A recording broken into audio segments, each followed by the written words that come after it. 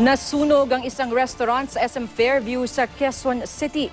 Ayon sa Bureau of Fire Protection, pasado alauna ng hapon nang magsimula ang sunog sa Mang Inasal. Mabilis namang naapula ang sunog, pero napuno ng usok ang mall. Sa statement ng SM Fairview, sinabi nilang agad nilang kinordon ang nasunog na restaurant saka pinalabas ang mga tao. Nagsasagawa na rin daw sila ng investigasyon. Wala pang pahayag ang mang inasal sa insidente. Matapos namang matiyak na wala, namang, wala nang sunog, nagbalik operasyon din ang mall.